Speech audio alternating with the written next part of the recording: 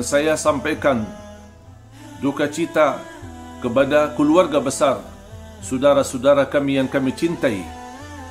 Saudara Faiz Ahmad Syukur, Andi Uktiawan, M. Riza, Muhammad Suci Khaddafi, Lutfil Hakim, dan Ahmad Sufyan.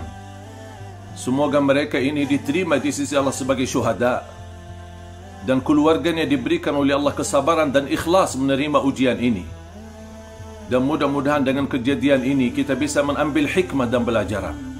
Jangan sampai terbancing emosi dan timbul fitnah yang lebih besar. Mari kita sama-sama menyatukan dan merapatkan saf kita.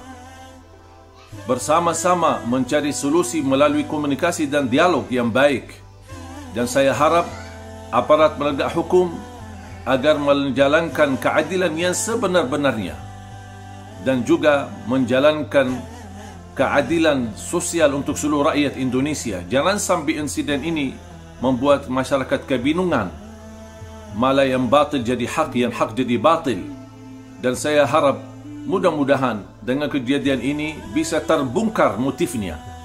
Dan juga bisa menjalankan hukum seadil-adilnya terhadap orang yang terlibat dalam kasus ini dan mudah-mudahan tidak sampai terulang lagi.